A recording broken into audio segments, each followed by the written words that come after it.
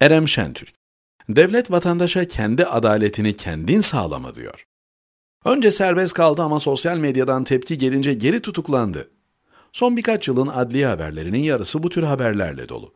En son Bursa'da sözlü taciz ettikleri genç kadının erkek arkadaşını tepkisi üzerine saldırıp tekme tokat darp eden 5 kişi savcılık talimatıyla serbest bırakıldı.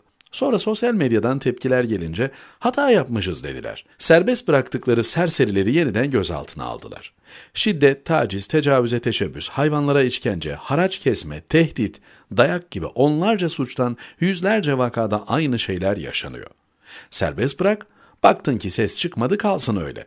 Serbest bırak, baktın ki sosyal medyada olay oldu, yeniden gözaltına al. Böyle iş mi olur? Böyle sistem, böyle devlet mi olur? Böyle adalet mi olur? Bütün bu saçmalıkların tek bir sorumlusu var. Hakimler, savcılar değil. Onlarla alakası yok bu işin. Bu meselenin sorumlusu Türkiye Büyük Millet Meclisi. Bu konuda kanun çıkarmayan meclis birinci büyük sorumlu ama ne hikmetse umurlarında değil. Hiç dertlenmediklerine göre vatandaşa bir mesajları var demek ki. Belki de milletvekilleri bizi uğraştırmayın demek istiyorlardır. Ama biz her şeyi devletten bekleyen tembel siviller olarak anlamıyoruzdur. Kendimiz çareler üretmek zorundayız belki. Bunu mu istiyor meclis? Ruhsatlı, ruhsat alamıyorsan kaçak yoldan silah alın diye mesaj mı veriyor? Kanun yapsınlar diye seçtiğimiz vekiller. Ne yapsın vatandaş? Mahalle güvenlik timleri mi kursun?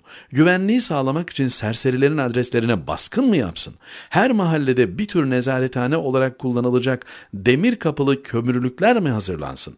Meclis bunu mu istiyor? Denetimli serbestlik denilen mekanizmanın izaha muhtaç boşluklar bırakılmadan yeniden düzenlenmesi lazım. Bunu kötüye kullanan savunma avukatları, hakimler ve savcılar için cezalar belirlenmesi lazım. Önce saldık, tepki olunca geri aldık saçmalığı adalet duygusunu incitiyor. Bu konuda duyarsız olan 600 milletvekili bundan doğacak her türlü fenalığın, musibetin sorumlusudur. Erem Şentürk, Diriliş Postası